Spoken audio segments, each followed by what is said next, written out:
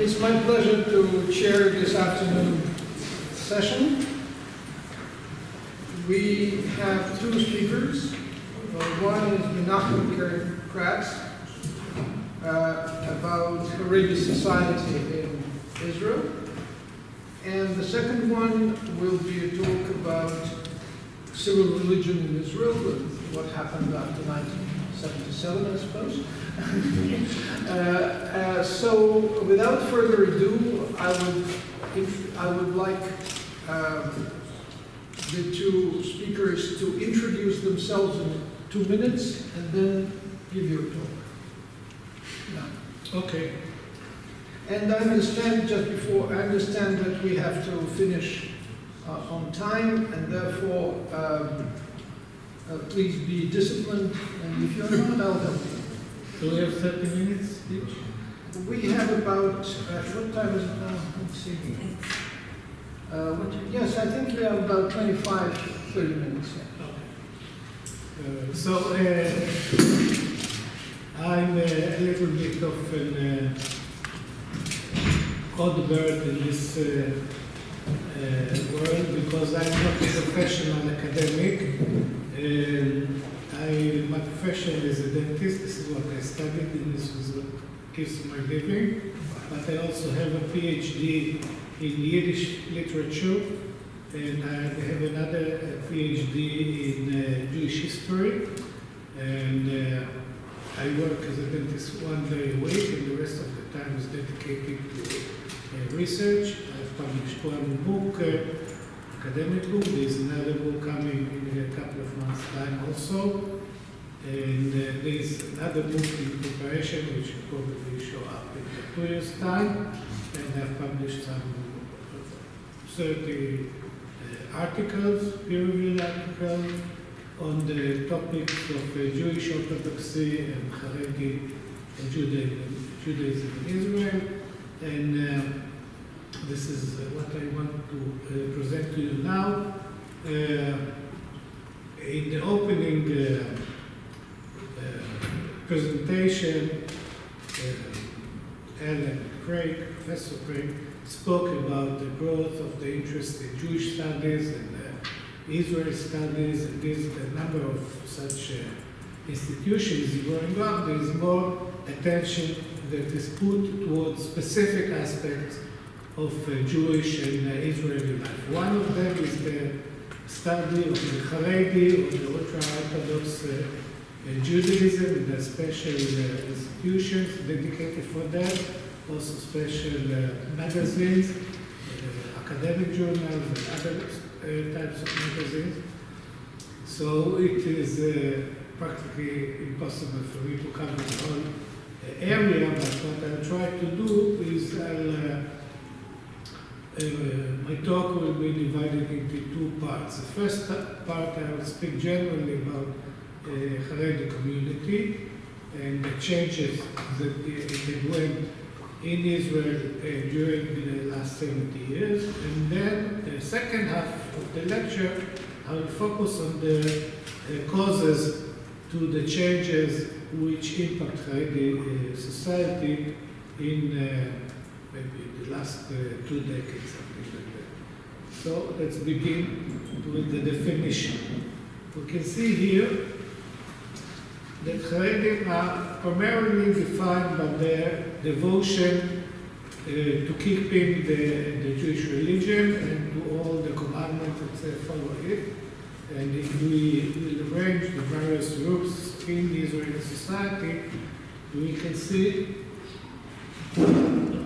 use this, uh, like there is a sequence of religiosity, which is the secular Jews on the bottom, and then you have the conservative, the reform Jews. Can you repeat that? Yes.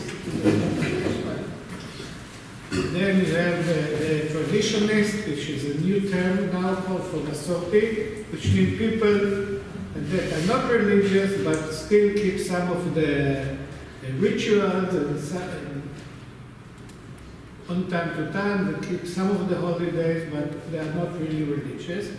And then you have another notch up, you have the religious Zionists who are totally religious, but they live also modern uh, lifestyle, and uh, they do have, do make some compromises when it comes to, to religion. And then we go up, we see the largest group of, uh, of mainstream Haredim, which is uh, which we, on which we will concentrate. And then on the top you have a small group, which is the Eda Haredit and Neturei Karta, which are considered the most radical, most in terms of keeping the, the religion, on also in other topics. As you can see, the, the first uh, four groups, which constitute the majority of Jews, are Zionists, primarily Zionists, and then you have the Haredim, which are considered as non-Zionists, yes, because they're not supportive of Zionism, but since Zionism, uh, Israel is, is a Zionist state, it exists, they cooperate with it. And then you have the, the last group, which is anti-Zionist, uh, which means that they, uh, for example, do not participate in the, in the election, not in the municipal election, not in the general election. They try to boycott everything that has to do with the Israeli state. For them, the Israel is not a state, it's just a land, the land of Israel, look at it in, in biblical terms. So those two groups are basically what uh, uh, constitutes the Haredi uh, community. Uh, Haredi community is a large community. We'll go to that uh, later on. That is composed by several, but by many groups. Okay, there are perhaps more than 100 groups within the Haredi community. I just mentioned here the, the main groups. There is the Hasidim, which are best known for the outfits. You can see them here outside the window. There is the non-Hasidic Sephardi Jews, which are relatively a new group uh, within the Israel Haredi uh, scene. You have the non-Hasidic Mitnagedim, which is non-Hasidic, and they have their own characteristics. Those are the three major groups, and then you have three uh, smaller groups, uh, which is Chabad, which is also it is also a group of Hasidim, but it's kind of a standalone group. It's not totally combined, connected with the other Hasidim. And we have Bres- which is also a Hasidic group, but also stands on, on its own two feet, is not connected with the rest of the Hasidic uh, groups. And there is a relatively larger, still growing larger group of repentance, Muslim Yeshiva, that means people who were not religious and became religious and became Haredi. And uh, this is this is a group that is is growing very rapidly. And as you can see, there is the internal connection between the between the groups.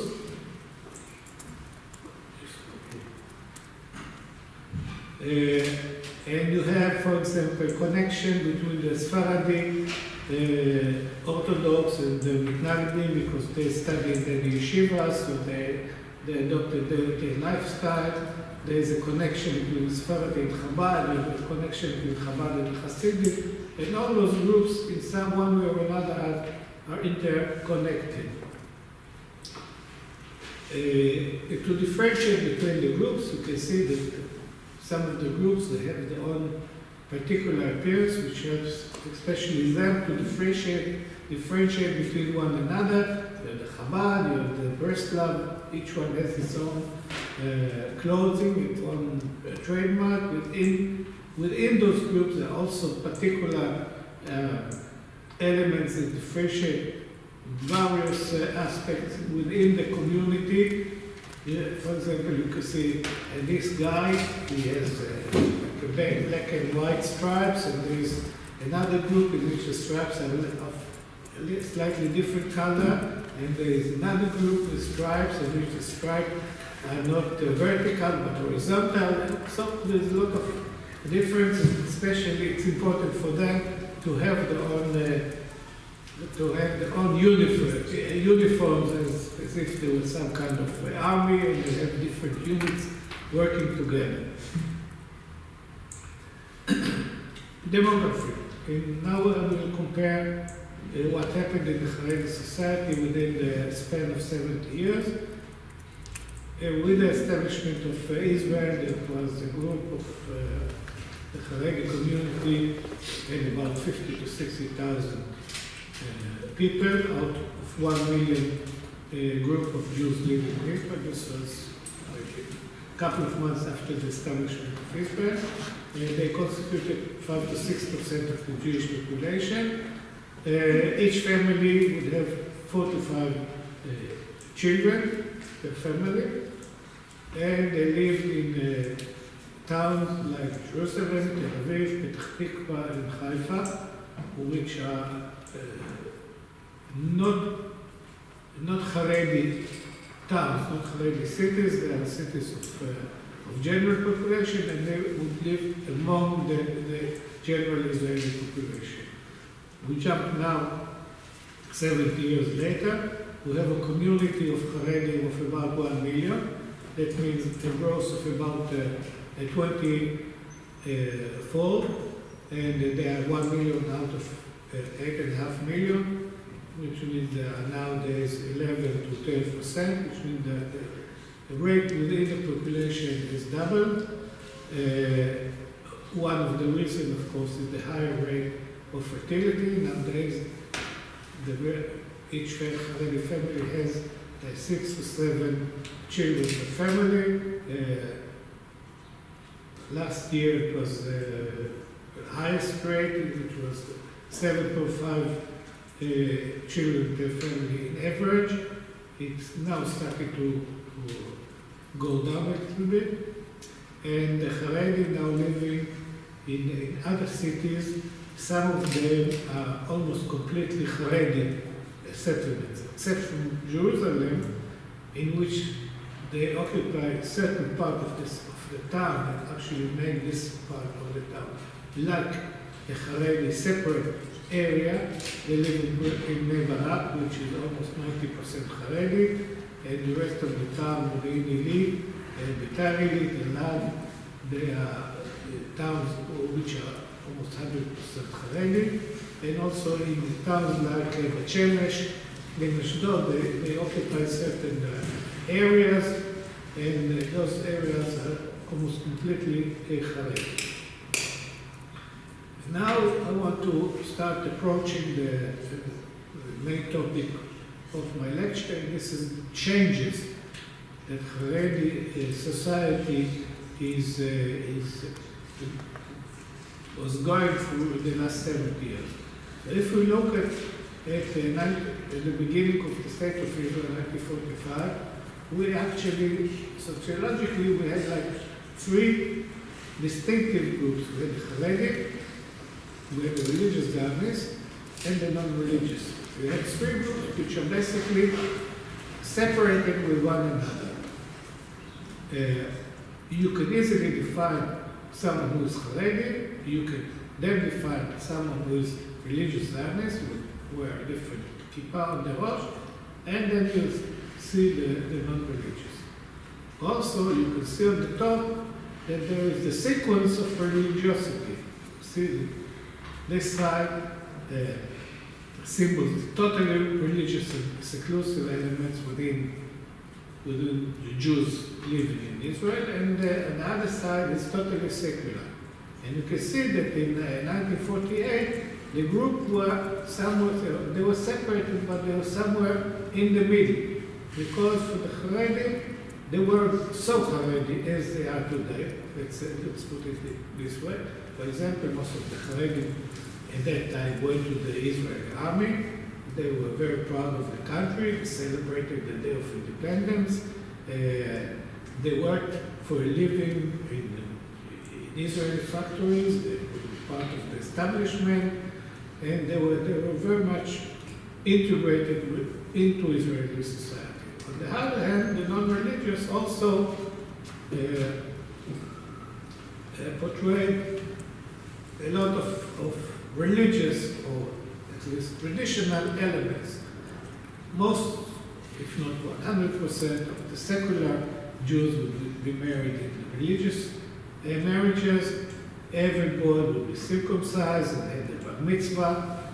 Uh, when someone died, they would bury him in, in religious uh, ritual. And, a lot of, of the secular Jews would visit the synagogue at the high holidays, and there are more elements like this that identify, made the, the, the secular Jews less secular than they are today as a.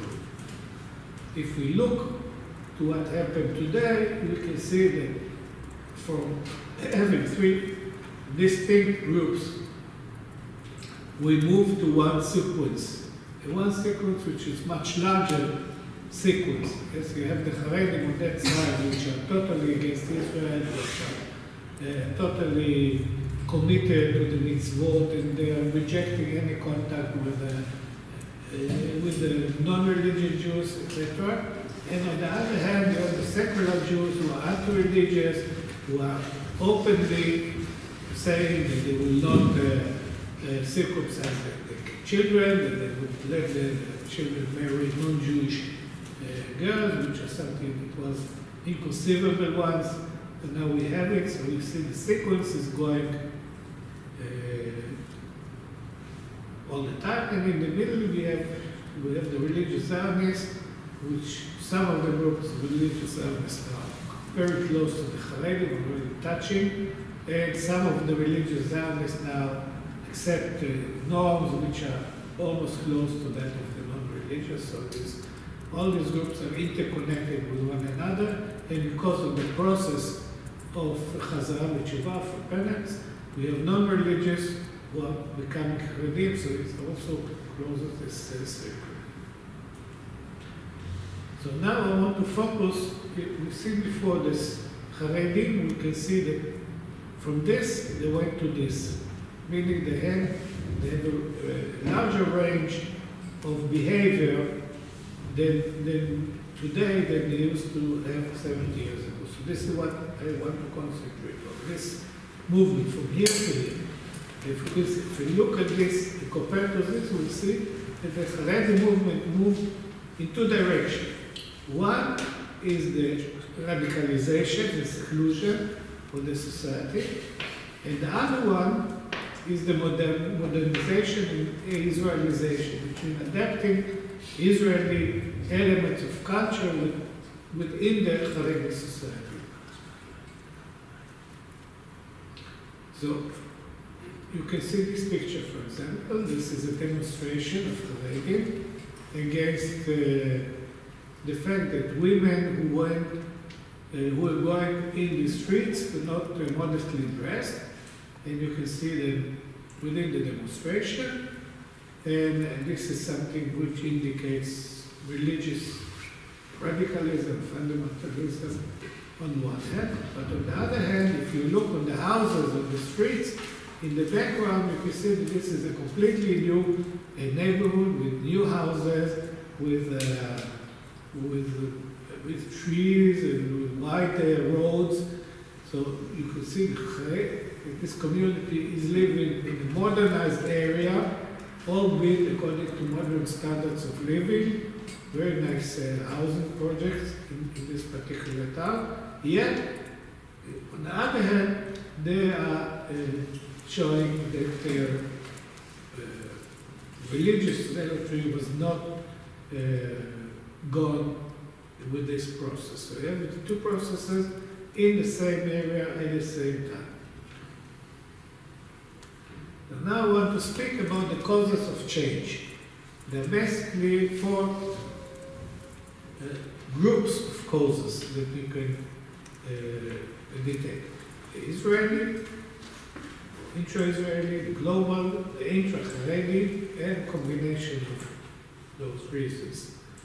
So, for example, if you look at the Israeli causes, you can see that there are some national events like the Six Day War and the pride that Israel uh, received after the war for winning it in such a short time, but it also uh, when it also liberated uh, some of the most holy places, such as the Western Wall and, uh, and other places.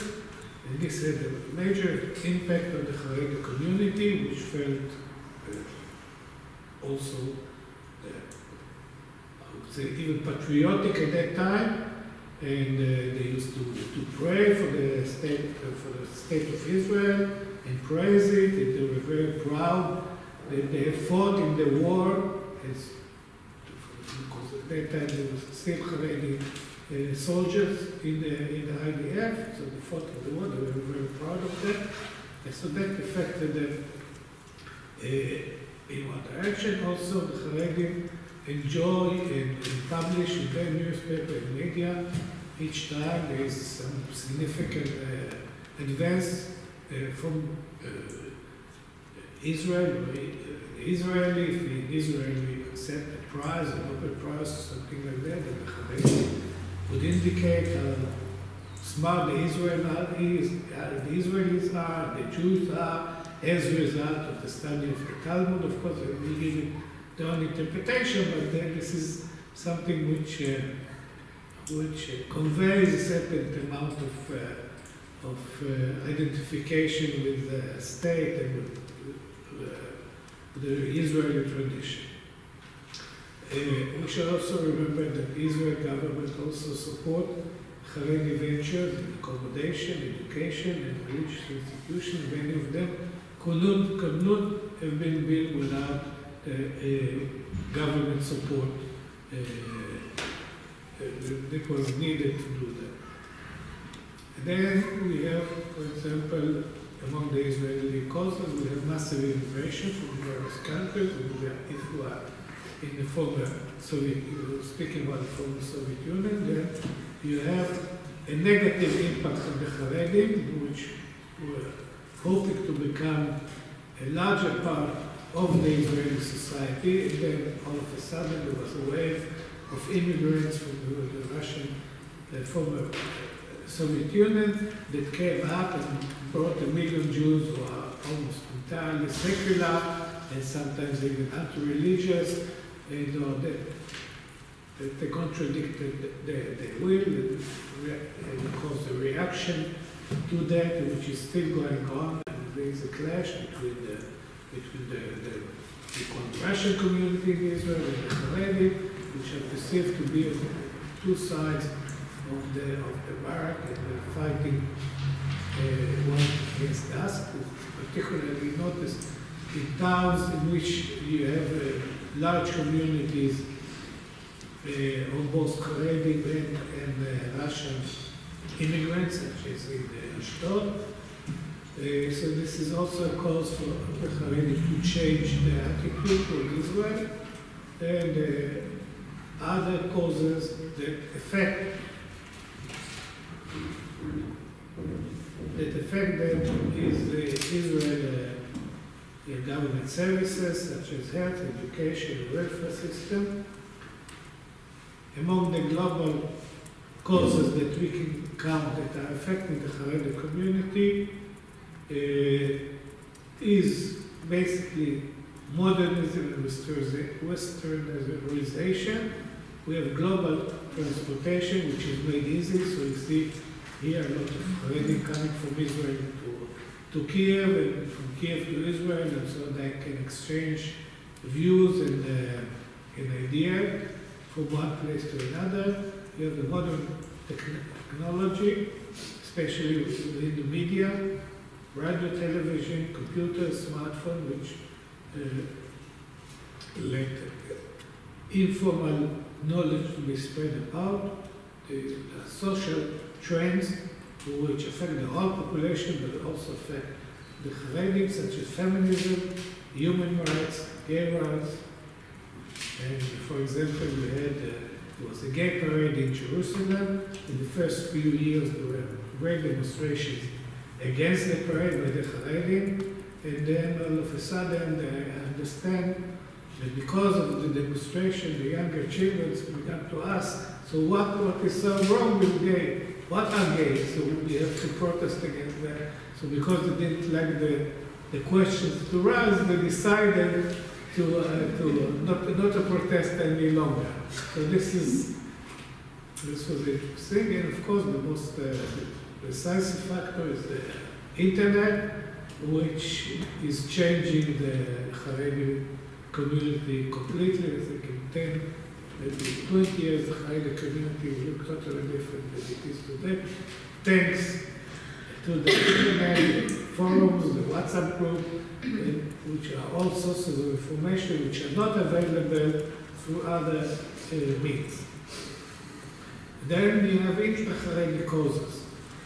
Yes, we see before that in 48, the, Haredi, the most of the Haredi community lived in, Jerusalem, and now it is split between Jerusalem and Bnei. So now we have two Haredi uh, power bases, and they are competing with one another. One is more radical, the other one is more moderate, and they are fighting. They're not open fights, but there's still the tension between them. So this is also this also influences the type of, of uh, Haredi. Who will dominate the Haredi scene? It's the, the, the guys from Jerusalem, the guys from Bnei Barak. Uh, in the last 30 years, there is new element coming into the Haredi scene, which is the Sfaradi Haredi, which was never part of the, of the Haredi community. Now the Sfaradim. And what was surprising about the Sfaradim, that somehow became the largest uh, bloc in terms of uh, political influence. And now they were socially the underdog, but politically they more influence. And I will jump to the last, uh, to the last group, which are combined causes. Yes? You have people living and joining the Haredi society, which also influence a lot.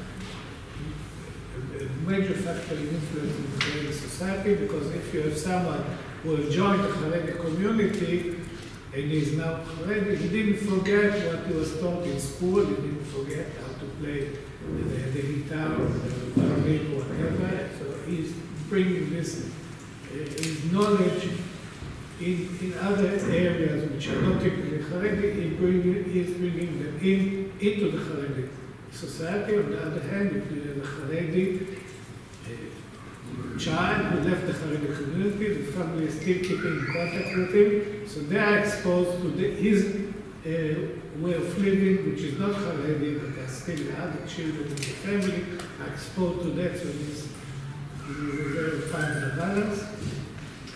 And then, for example, in the last uh, years, there is a problem tension, and the Israelis who are not Haredi and the Haredi, they are sharing the same fate during the terror missile attacks. And the last point, which I can see personally, is having the same scholarly interest. There are a lot of Haredim who are interested in the work that I'm doing, and they are willing to meet me, and they're willing to cooperate with me, and I'm going there, and I'm willing to this is a new, cha- new challenge of exchanging ideas. I think what I'm doing is affecting the Haredi community as well, although this is not preferred tactic, but this is this is unavoidable uh, result. So this is me and my Haredi family here. You see that. Uh, Thank you so much. Thank you very much. Thank you.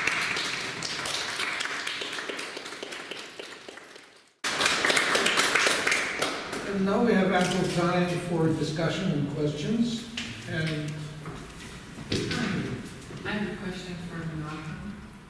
Um, last time I was in Israel, one of the things that was really noticeable or notable for me and others in my group was um, the prejudice of Israeli secular society against the Haredi.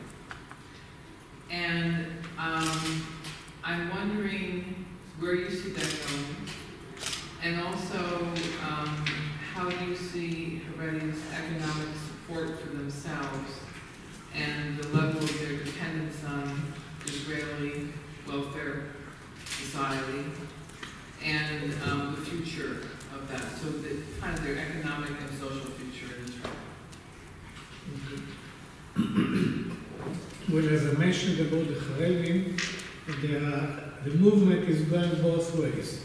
The Some Haredim are going through a process of radicalization, and the other, the other group is going through a process of modernization. The same is true also with regard to the general Israeli. It's the way it looks upon religion. There is a growing trend among Israeli, among secular Israelis, towards, uh, towards mysticism, towards the study of uh, Kabbalah, uh, towards uh, visiting uh, holy graves, that's such the one that we have here in Uman, of the, of the maybe 30,000 visitors that go there for Rosh Hashanah, perhaps a half, half of them are not, are not religious. They are not keeping, they are not, they are not observant Jews. Okay, but they still go there once a year to have, you know, the, the spiritual batteries uh, charged for the, for the rest of the years, and then they can sin as much as they want. So this is, this is one movement. On the other hand, there is a, a growing uh, uh, antagonism against the Haredim for, for various reasons. So there are two, uh, two conflicting processes which in a way balance each other when, when we are looking at it. As uh, for the question about the Haredi society ability to support itself financially, uh, in this process among the Haredi uh, society towards uh, Israelization and modernization, there are new groups, Haredi groups, which are sometimes called as shirt Haredi, which are Haredi who also have general education and who ultimately uh, become uh, uh, either business persons or other professions which allows them to support their own families without the need to be supported by, by outside budgets. What, what is that group already called, that, that support themselves? Sometimes call them the new Haredim, sometimes they call them the blue shirt Haredim, because usually Haredim, the, the, the, the official uniform of the Haredim is black and white. So if you wear blue shirt, then means that you are, you are one step away from the Haredi mainstream into modernization. We have a growing number of, of Haredi groups that are going in that direction, and you have even some Haredim, which in some aspect are more traditional, such as Hasidic Jews, which also incorporate general studies in the institutions in order for, for them to have, uh, to have economic uh, independence in the future life. So we have that, which, which is something that is very common among Haredi communities outside of Israel. But in, Israel, it's just beginning to, to happen in the last maybe 10 or 20 years. Any other questions or comments? Yes, to Menahem, you, you mentioned that uh, Chabad is not really Hasidic. What, what are the different nuances for you?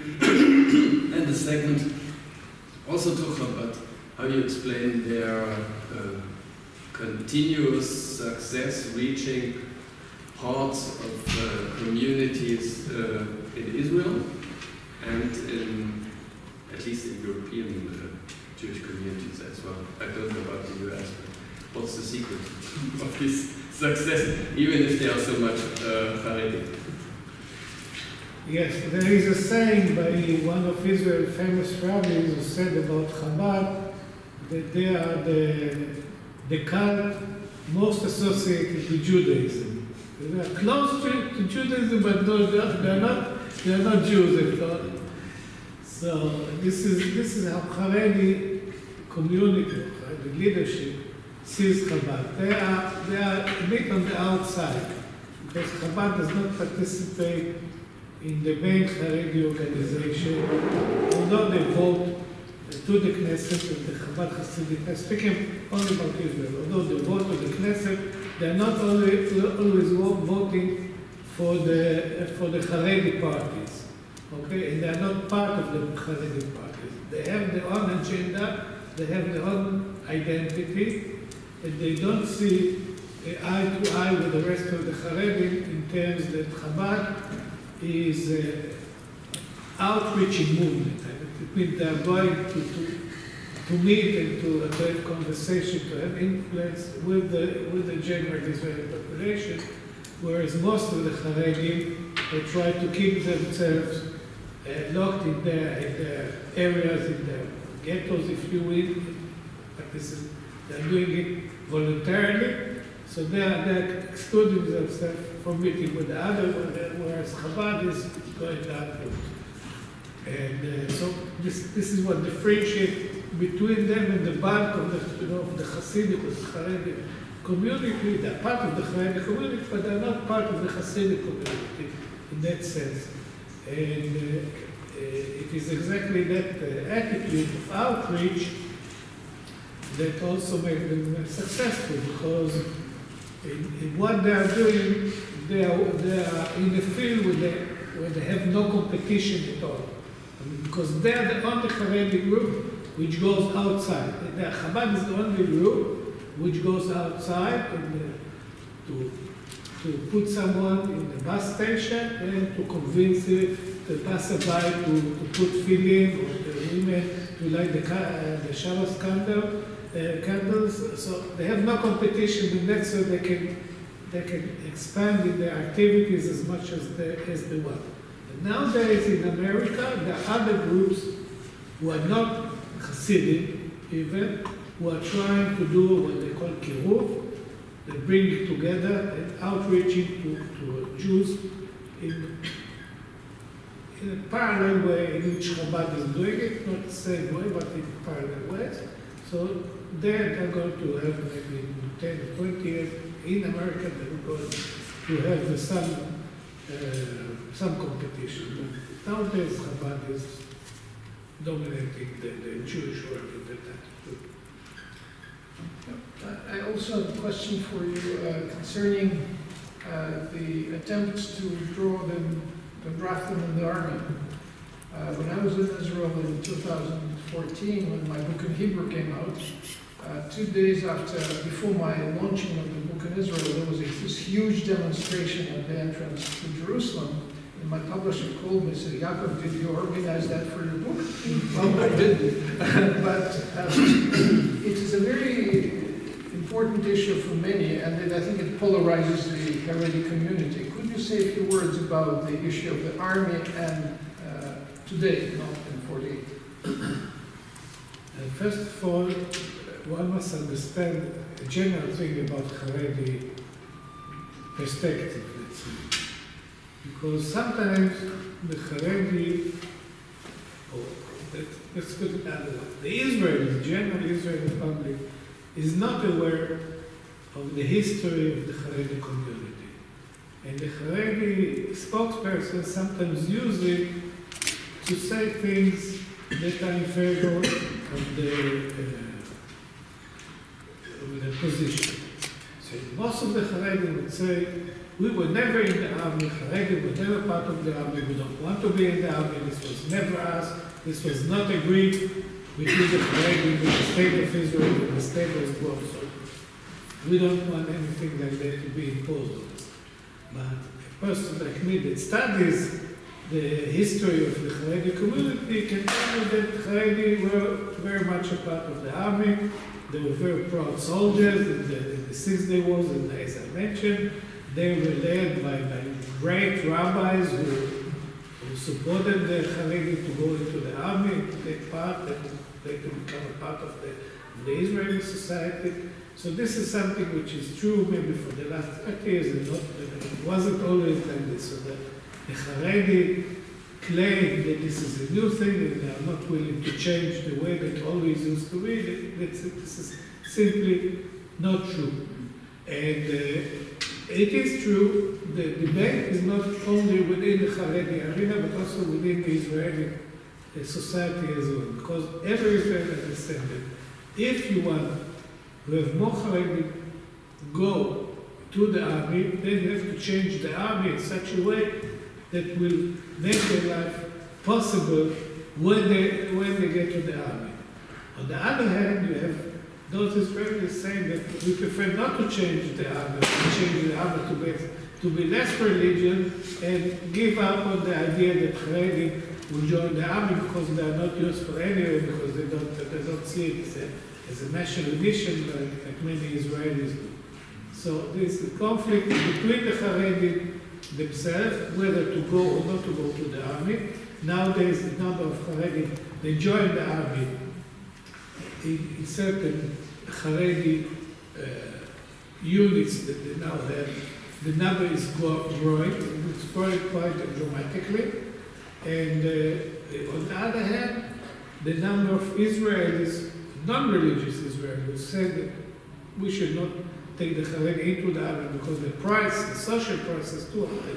Because if the Haredi, if there is a Haredi unit, then it means that that uh, its teacher must be men and not women, and the, the commandments have, have to be men, and so you have like uh, women who are sport instructors and they are not allowed to instruct them, so it creates an injustice for, for the, the female soldiers. Yes. So there is a conflict uh, views on, this idea. Well, actually, it's, it's a very interesting issue on many levels, but on the level that you just mentioned, the segregation, because the Israeli army uh, used to be the main instrument of integration of population, of kibbutz galuyot. Uh, Now, if you introduce the idea of segregation, which has been introduced, uh, it causes serious problem, not only on a technical level, but also on the ideological level. Uh, and uh, actually, it contradicts some of the Israeli legislation, which we already saw in the creation of special Haredi pseudo-university establishments, because there you have gender segregation and everything else, and no women teaching and all that. Now, uh, several, I think, hundred of Israeli academics signed a protest letter to the Council of Higher Education saying that contradicts everything that higher education is. Uh, it is a problem for a society, for a modern society which is very modern in many respects, being demodernized in uh, with respect to Haredim. So uh, it's fascinating subject. Of course, that's what I'm interested now in demodernization. So you can have uh, a startup nation with all these super technologies, and at the same time a population which may be using the products of it, some of it at least, uh, but is totally on a different wavelength in terms of uh, modern values. Any other questions, or, or you're too hungry to ask questions? Well, in this case, I will thank the speakers and uh, will invite you to partake of the frugal meal that is being prepared for us.